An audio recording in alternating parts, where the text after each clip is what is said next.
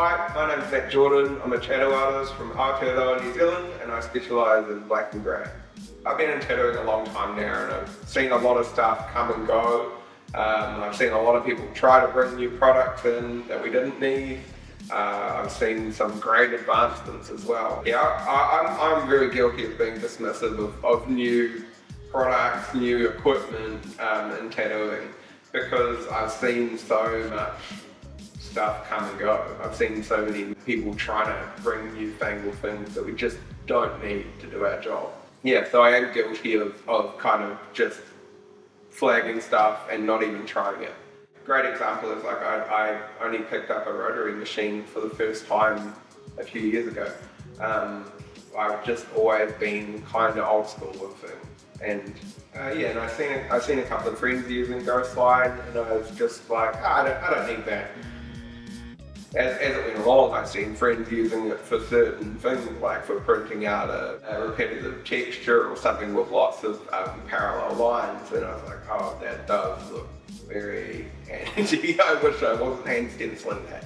Um, so that was a, I guess that sort of turning point for me where I was like, oh fuck it, I'll, I'll give it a go. My friend showed me how to use the app. I figured it out very quickly.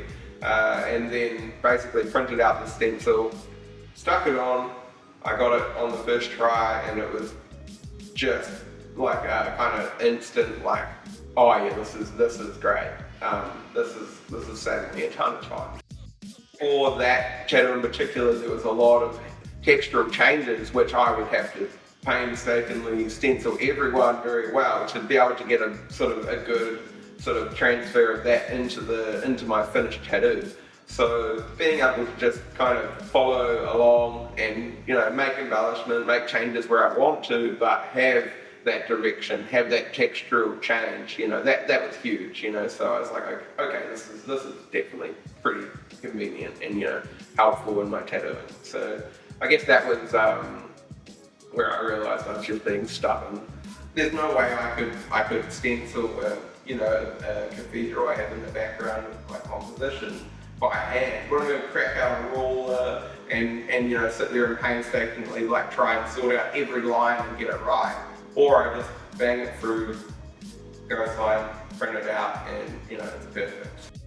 Even being able to just drop multiple different references in quickly and crop them down, um, you know, sharpen them up, create stencils and try them out, you know, and see which one's really going to fit best or which one's going to translate into the best tattoo for that body part.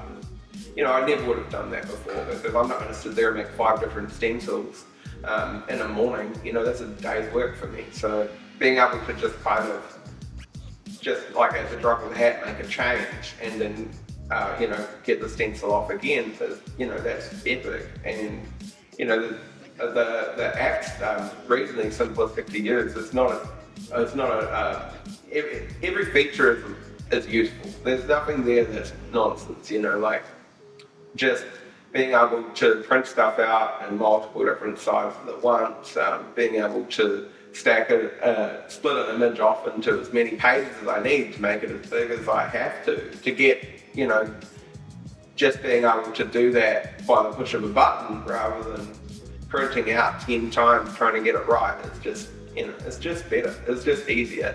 And you can tell that they've thought about it. You can tell that they're actively going, how can we make this better?